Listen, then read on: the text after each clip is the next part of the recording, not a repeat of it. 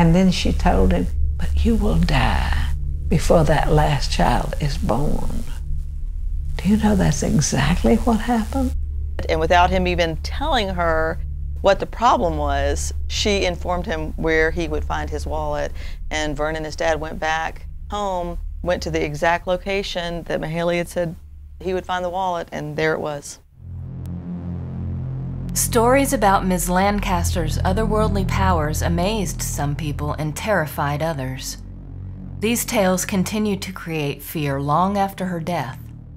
Well, I almost dropped the phone because I knew that Miss Mayhayley had died 40 years earlier. Because remember, she only had one eye after the age of about 25. And what she would do is sometimes she would put a glass marble, a clear marble, in the space of her eye.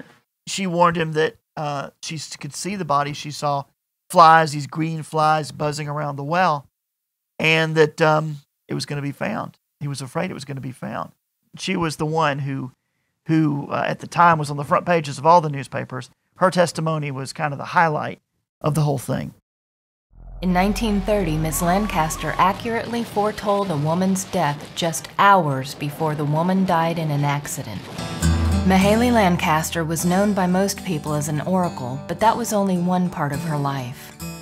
She was also a lawyer, a businesswoman, and a bravely progressive politician.